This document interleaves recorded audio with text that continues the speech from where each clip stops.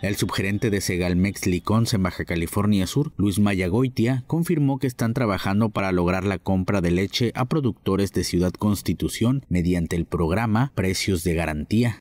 Traemos eh, mucho interés, es tratar de apoyar a, los ejidos que están eh, en el valle que es la única cuenca lechera que existe en el estado, que es una cuenca importante, estábamos hablando de cerca de 3.700 vacas aproximadamente, con más o menos unos 55 mil litros diarios aproximadamente, por lo menos eso es lo que, lo que a mí me reportan.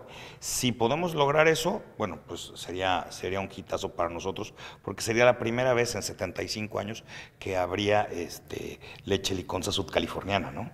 Dijo que Segalmex en la entidad no cuenta con una planta, por lo que están buscando los mecanismos para hacer la compra, procesarla y que se venda en la entidad a familias de escasos recursos tenemos que ver que las reglas de operación cumplan cada uno de los, de los pequeños productores. Nuestras reglas de operación son muy claras. Este, el precio tiene que ser, para, para, que, seas, eh, para que formes parte de precios de garantía, pues deben de ser eh, productores que tengan menos de 100 vacas, cuestiones así, ¿no? Nada más se llega a un tope de ordeña diario, cuestiones que son un poco más técnicas, ¿no? Poder apoyar a la mayoría de los pequeños productores, ¿no?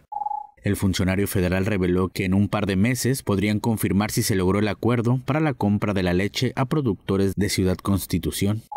Tenemos 28 mil, casi 29 mil beneficiarios a lo largo de todo el estado, en 118 lecherías, este, unas en conjunto con las casi 200 tiendas que compartimos con nuestra otra unidad de negocio, que es DICONSA, este, que es el programa de abasto rural, donde son las tiendas. Eh, ahí tenemos eh, esta, estos 28 mil cerca de 28.900 beneficiarios. Con imágenes de Bismarck Moirón para CPS Noticias, Ezequiel Izalde.